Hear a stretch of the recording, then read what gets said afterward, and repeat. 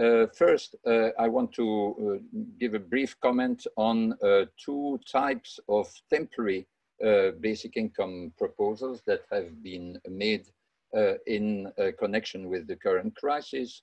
Two, I'll say something about how this leads to further support for permanent basic income, but at the same time that in the post-corona time, there will be new obstacles to the implementation of uh, this permanent basic income.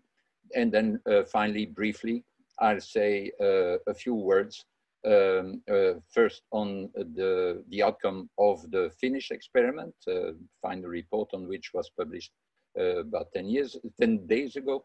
And finally, I'll say something about the ECI, so the new, the second European Citizens Initiative around basic income. So first, uh, it's important to see that uh, there has been this uh, upsurge of interest in two types, uh, distinct types in, uh, of uh, temporary basic income, each with their own objectives, each with their own way of funding the proposal.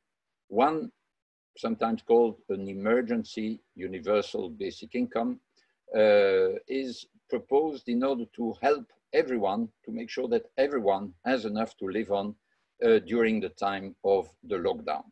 Uh, lockdown has taken different shapes in different countries, but uh, has uh, taken a form that in all countries has, met, has uh, meant significant material hardship for many people. And so it has been said uh, that the simplest way, the quickest way of making sure that everyone gets enough to live on is simply to give for the time and for the number of months uh, that uh, the lockdown lasts to give everyone uh, enough to live on. How can it be paid? Just through deficit spending, through increasing the public debt. If it doesn't last too long, uh, this should be uh, bearable. Um, of course, some people have immediately said, but wouldn't it be better to focus this money to make it less expensive by focusing the money on the people who've lost their income, not give it to everyone?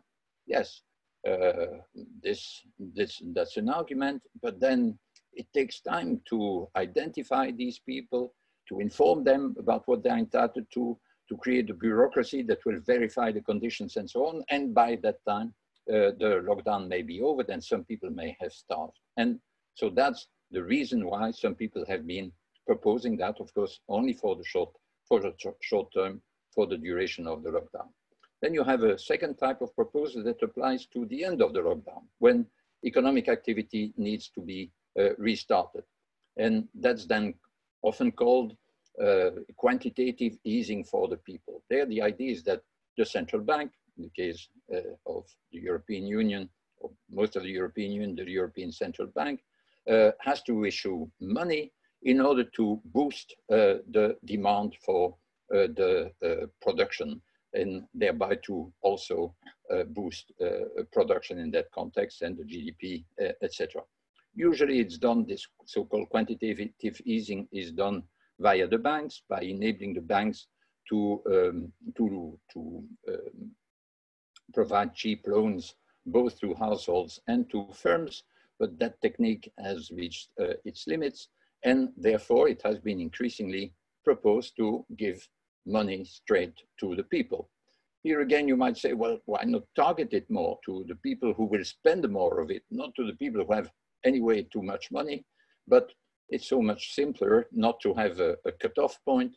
And anyway, you can make it uh, taxable. You can say, well, well, what is distributed in this way? If it's 500 euros, 1,000 euros in order to reboot the economy, uh, that can be taxed. And of course, you get that a significant proportion of that back from the rich people, while for uh, the poorer people, it's a net benefit and hopefully they will spend it.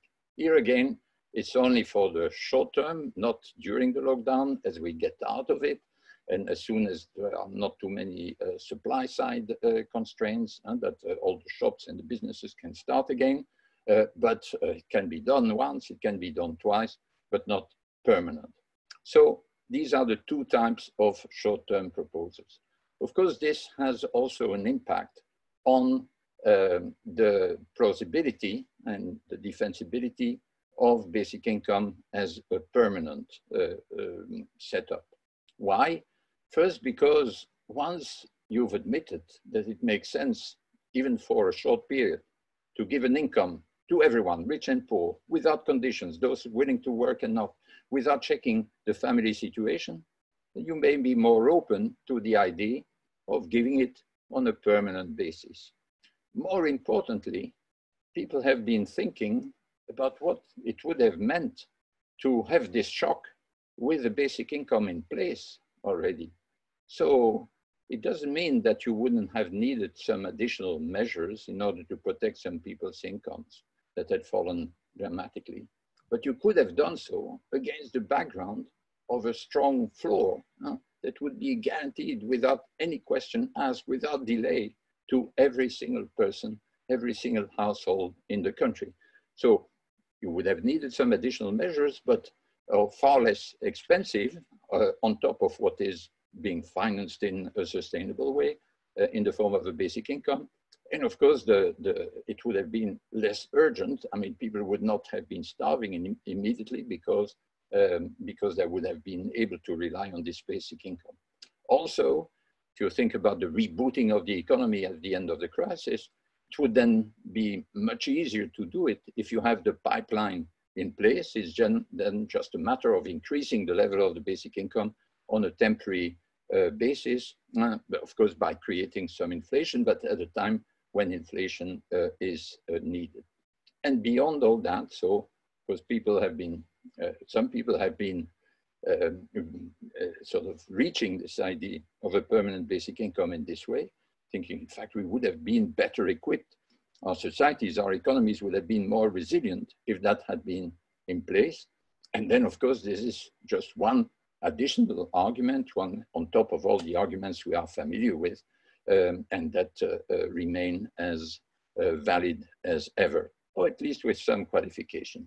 Now I turn to uh, the, so the, the other aspect I uh, wanted to uh, stress isn't there, and there are some dimensions or some aspects under which a basic income will be more difficult to implement in a post-corona world. I'll mention three difficulties, three obstacles. First obstacle, of course, there is all this massive focus of attention on the healthcare system. Um, people in the healthcare system in most countries have been saying, look, we were insufficiently equipped to face this sort of challenge. We need more investment, also material investment in the healthcare system. Look, all these people who do highly valuable work, some might be well paid, the, the doctors, the specialists, but some are, are very important, equally important. Many, uh, all the nurses who work uh, in the system, even the cleaners and so on, but they are very poorly paid. So we need to massively invest to spend more on healthcare. But if we spend more on healthcare, more broadly on public services, won't less money be available for a basic income? And even if we were to introduce a basic income, wouldn't that then, by giving more bargaining power to badly paid nurses, wouldn't that me make the healthcare system more expensive than it is now? In some countries, it's already over 10% of GDP per capita, uh, of GDP that is spent on uh, healthcare. So that's the first difficulty. Uh, won't there be a, a, a, pressure towards spending more on healthcare? Second difficulty um, the post-corona time, certainly for a significant period, uh, will have to suffer from a lower productivity. That is, uh, there are lots of investments, public and private, that have been made that won't be uh, used optimally. Just think about public transport for a, a, significant period. And that means if you take uh, the economy as a whole, a lower productivity. Um, this you may say, well, who cares about productivity? Well, you do need to care about productivity because, and to put it very simply, um, the productivity, high productivity means a large surplus in the economy uh, over and above what needs to be allocated to the factors of production, labor, uh, capital, um, entrepreneurship. And it is out of this surplus uh, that basic income is to be funded. So we need to watch what happens uh, to uh, productivity. especially, and that's the third aspect of a post-corona world, especially as after uh, this relief for the earth, uh, which and for the environment, which uh, has been the, the, this, uh, this lockdown period, and so less pollution, less uh, CO2 production, etc., will be back. the, the economy will, will start again and will face again these environmental constraints in uh, that means because of climate change, exhaustion of, uh, of uh, natural resources. And that is a further constraint, of course, on our productivity and a further difficulty for the ability to generate that surplus and to keep generating a sustainable way that surplus out of which uh, basic income is being produced. What follows from all that? That we should shelve all hopes of uh, introducing a basic income in the short or the medium term. No, not at all. Just it does affect some of the arguments. I think we what we must shelve is simplistic arguments that consist in saying automation is producing such a high uh, level of productivity that all these workers will be made uh, redundant. There won't be work for everyone. That's a very flimsy, uh, weak argument. That's not an argument we should use. But uh, that's one implication. There are lots of other arguments we can keep using. But uh, another aspect is that we must keep arguing, as many uh, do, keep arguing for a basic income in combination uh, as a close complement to lifelong learning. And a lifelong learning that constantly combines uh, uh, what the mobilization of what is available, uh, the, the, tremendous amount of knowledge that's available cheaply, free of charge on the internet, with appropriation, critical and creative, by local communities in all sorts of ways, formal and informal. That is what will enable us to keep being productive, not only as uh, producers in the strict sense in uh, the, the work sphere, in the professional sphere, but also as consumers, as users of public services, as neighbors in our communities. And so we really need to have a view about the future that combines this transformation of distribution of labor, putting a floor below all the distribution of labor combined with this lifelong learning. And of course, the basic income is one way of making that much easier by making the transitions between uh, employment, uh, training in broader sense, education in broader sense, and voluntary activities within the household and outside. Basic income makes that transition much smoother, much easier, more flexible than uh, what we have uh, now. Let me then turn to the short uh, final remarks. So one about uh, the, the, the, Finnish experiment and uh, one about the ECI. On the Finnish experiment, so uh, as you might know, uh, there was a, a, preliminary report that was based essentially on the uh, data on some interviews at the end of the second year of the experiment. It was a two-year experiment and then on data about employment uh, only for the first year of the experiment. Then 10 days ago, we had the final report that had the, the full data for the two years. So what did we learn uh, from it? We knew already from last year that people, and the, the, beneficiaries at the end of the two years were happier than in the control group. Uh, they seemed to be more healthy, they were less stressed, had more trust in uh, each other and uh, or in other people and in, in, in the public authorities. But what about the employment record? Let's bear in mind that the experiment consisted in taking 2,000 people out of 150,000 people who were long-term unemployed, people who had never worked before, aged between 25 and 59, or who uh, had not worked in the last two years. And so these 2,000 people were told now for two years, you'll get the same 560 euros per month, but unconditionally. Doesn't matter with whom you live, doesn't matter whether you earn some money in addition, doesn't matter whether you turn down a job, stop looking for a job, uh, etc. No one will bother you. And then the question was, will these 2,000 people work more or less than the 150,000 people? Because some people say, well, they will work less because they are no, no longer bothered, pushed into work by uh, some uh, officials. And other people say, no, they, they can be expected to work more because they can combine their basic income with earnings from work. So what did the experiment show? In the first year, no significant difference. Very tiny difference, a bit more among the basic income recipients, slightly, but not statistically, statistically significant. Second year, there is a statistically uh, significant uh, difference to the advantage of the basic income recipients. But with a number of uh, remarkable aspects. For example, there is no difference for the three quarters of the people, no significant difference for the three quarters of the people who are of local origin, who are of Finnish origin. But for the one quarter of the people of foreign origin, uh, of uh, immigrant origin, there there is a very big difference. They work on average 14 days more than uh, the equivalent people, same background in the control group. So there is, uh, so the, that means the outcome is uh, uh certainly it falsifies the view and uh, it prevents people from saying, look, even if we enable these people to combine uh, their benefit with work, they don't work more than otherwise. This is not true. They did work more on average than others, but not all of them did. And so it's interesting to see what difference uh, it makes. Does it show, does it do anything to show that the basic income is sustained of 560 euros per month is sustainable or unsustainable? No, not at all. It doesn't teach us anything about that. Because of course, what this tiny minority of long-term unemployment does is insignificant for the sustainability, economic sustainability of a basic income. What uh, matters is uh, to see what the workers, the people who are currently working, uh, would do if a basic income was introduced, and nothing in the experiment enabled us to give an answer to that question.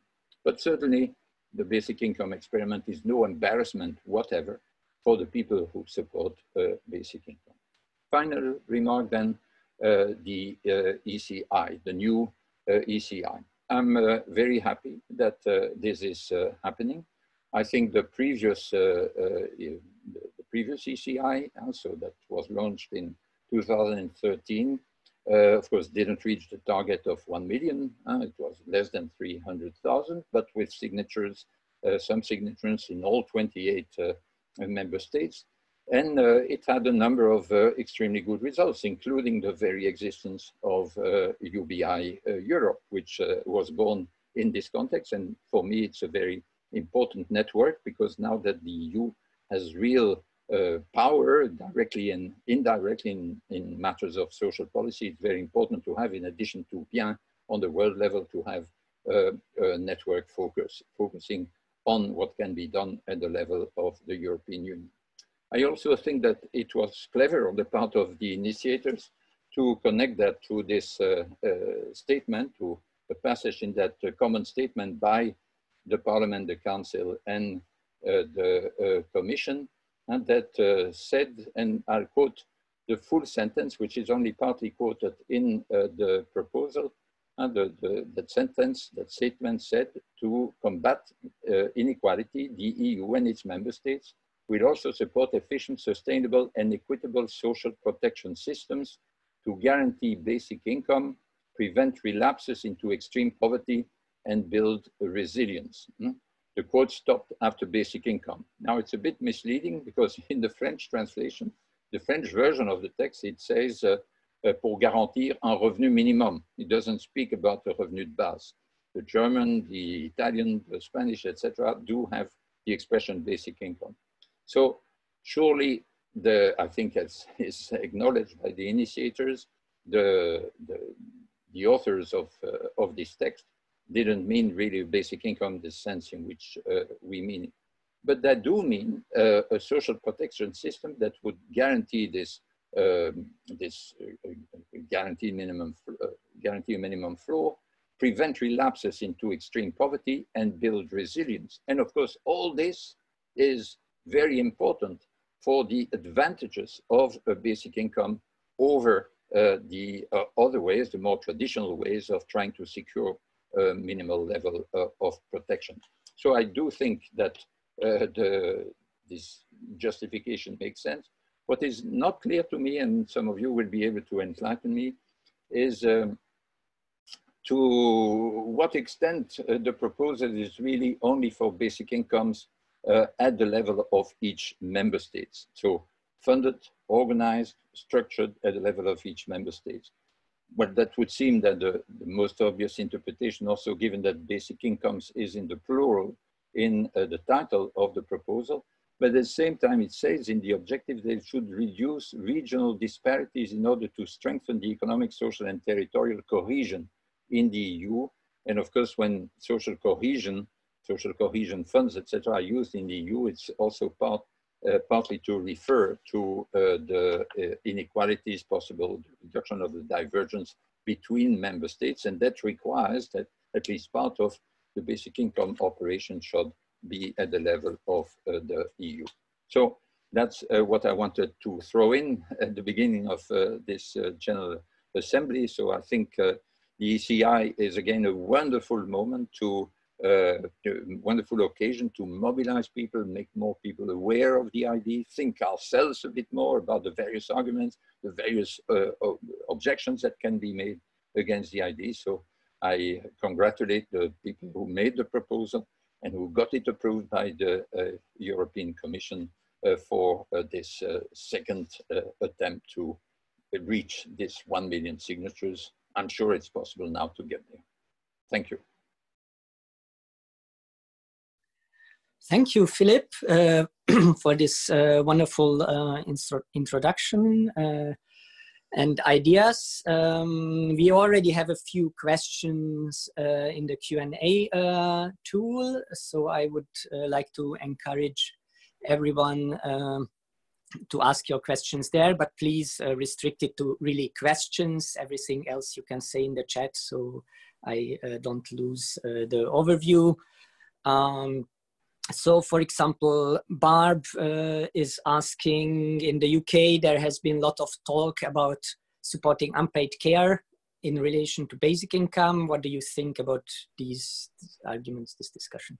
Yeah, very briefly, yes. Uh, I mean, Barbara now knows uh, this uh, is a recurrent uh, uh, theme um, in the basic income movement. and so it's, there is, um, the, you talk about, think about care in general, and so basic income would have two sorts of impacts. One is that it would give some sort of uh, uh, financial autonomy uh, for the people who are currently doing care work on a totally uh, voluntary basis and uh, unpaid uh, basis. So it would give them an income of their own right rather than have to get it from their, from their partner, from the person they help, etc.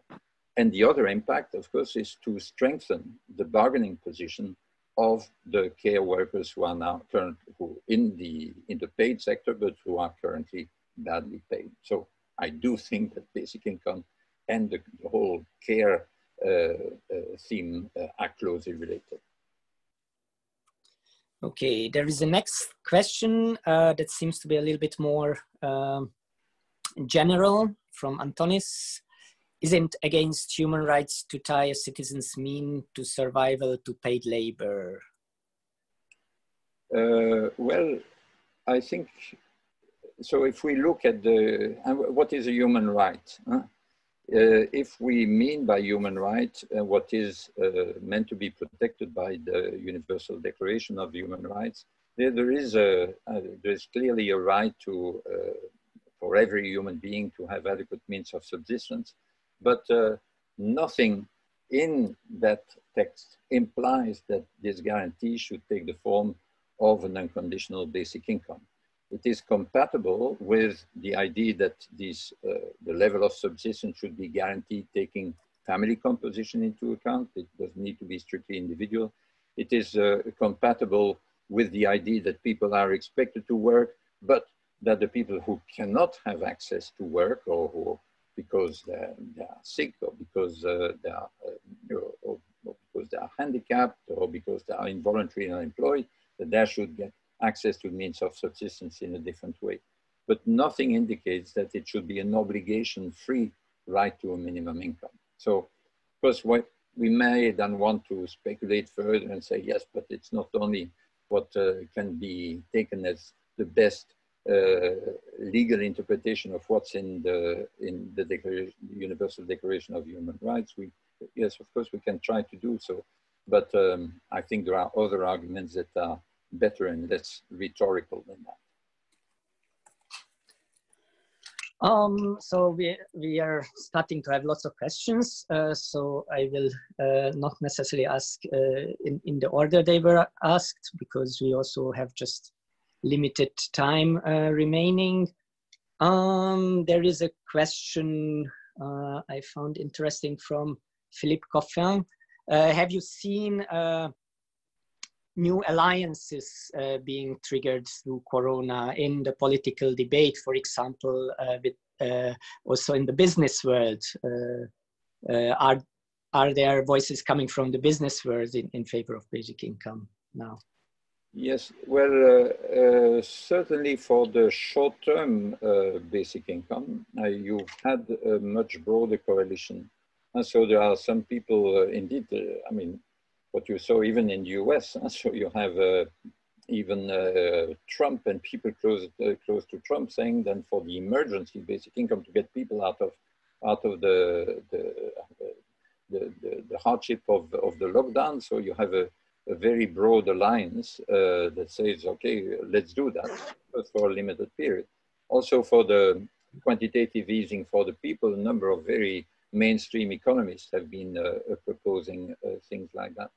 But what uh, I noticed, I just received yesterday the, the a message from uh, the Secretary General of um, the uh, Belgium's Christian Mutualities. And Christian Mutualities, they are the biggest uh, organization, all categories in uh, Belgium. So because the, our healthcare system passes through that. And he put a, a, a PS at the end of his message, and he said, isn't this the ideal moment to uh, propose a, a, basic income uh, because we realize how many are, I mean, all the complication of all the special system we have to put into place in order to deal with this sort of challenge. That's a variant of uh, version of the argument I, I, mentioned before. If we had had a basic income in place before this shock, we would have been far better equipped in order to face it. And that uh, you can also also hear. I could see uh, there were some people in business or usually associated closely with uh, businesses who were uh, holding arguments of that type because they realized how much time it takes then to to uh, to deploy all these various schemes, sometimes quite complicated, specific to different categories. On the whole, in a country like Belgium, there cover a, a, very large proportion of the population, but it often takes time and it's complicated. And then some are of short duration, some of bigger, of larger duration. Some then end up with a with a benefit higher than what they would get through their professional activities and get thereby in some sort of, of trap. So people say, well, come on, let's have if only something modest that would have made all this easier. And so that's how the, the coalition in favor of it uh, widens, yeah, as suggested by the question. So uh, we are um, unfortunately uh, at the end of time that we have planned for uh, this discussion. Uh, I would uh, use, I, I, would put a final question from Thomas Necke. he's asking what gives us the confidence that we will reach the 1 million signatures in the ECI this time. I would probably add, what would you say are the best arguments that corona gives us also in view what you mentioned the resistance that we, we uh, can expect uh, in future so what are the best arguments with which we can convince people to support the eci now yeah um, so I, think whether or not we reach the 1 million will depend mainly on the organizational abilities that is we it's important, and that's a big difference with last time. There is some time before uh, triggering the, the, the, collection of, uh, of the signatures. Last time it was as soon, on the day it was approved by the commission, uh, the, the, the, clock started running and then you had only these 12 months in order to collect. So here there is some time to prepare it. If it's launched in September or so, well, the, it's important to use this time well and then to make sure that it's very clear for everyone how to sign, how to sign that the website should be very, very adequate. And uh, the, it's important also that on the website, there should be arguments praised in an intelligible way and giving priority to those that may appeal most uh, to uh, the people. And so I think that um, related to several things that I said, it's really this idea, and the, the, there are two things that need to be combined. And so one related to Corona is this idea of this buffer, and that we'll be better equipped, and the, this notion of resilience, and that we are better equipped than to stomach these shocks. There will be other shocks, and some more local shocks like the, the, the recession we had and the euro crisis, and, and then global shocks like this one completely unexpected. And whatever the shocks are, if we have this, this floor on which we can all stand, that creates an automatic solidarity between everyone that makes us better equipped, not only as a society, but also as an economy. Our economy is strong. And then, but that needs to be combined. We must make clear at the same time that this is not the most fundamental argument. Even if there were no shocks, basic income would be an important idea under current conditions because of a globalization that will not go away. Certainly for the services, it will not decrease. For the goods, it will decrease. And with a, a technological change that, that will keep uh, going on. And in, in that context, we really need this strong floor also to limit the, the polarization of incomes and to be combined with this constant learning process. And so everyone must be, uh, every citizen must be a learner in a relaxed way without uh, and, uh, being, but, uh, but a constant learner in order to be able in the end to work more years in, in, in one's life and to work more efficiently because, and, and, and the core idea being that freedom, the freedom given to people is an important factor of production, of productivity. Eh? Make it possible for people to choose what they want to do with their lives and uh, they will be doing it better. And it must, of course, be something which they'll take, take pleasure in doing because it's also useful then to others than themselves. So it's really these two things, resilience, a, a good buffer against all crises, but at the same time, something that thanks to this freedom that's given to all can make our society more productive and our economy uh, uh, more sane and uh, more and strong. So that's my, and I'll certainly contribute, try and do my best to, to help in uh, reaching the 1 million. Thank you, Philippe, very much. I think that was a really excellent starter, uh, lots of uh, food for thought, uh, lots of uh, uh, important things for our discussion in the next two days. And I would also like to thank everybody for their questions, their comments. it is very obvious that this, this topic is not it's too big for just a half an hour uh, but we have our wonderful new format basic income tea which we will pick up uh, as of next weekend again. So maybe Philippe will have the time to come back to one of those uh, webinars and then we can explore these uh, thoughts these ideas uh, further and, and then also answer the other questions we received. Yeah. so thank you very much again keep going and I'll follow. I won't be able to be here all the time, but I'll keep following.